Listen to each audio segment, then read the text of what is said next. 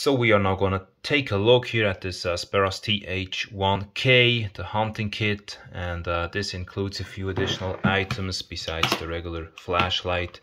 So uh, we are now gonna take a look here.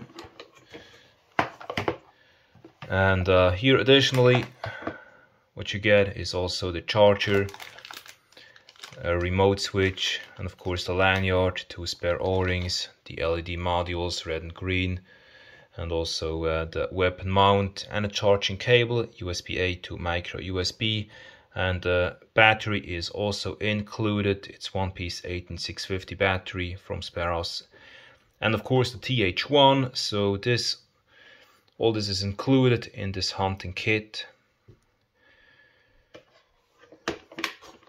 And uh, on the back side that box you can also take a look at the specifications basically the lumen levels with the candela ratings white red and green.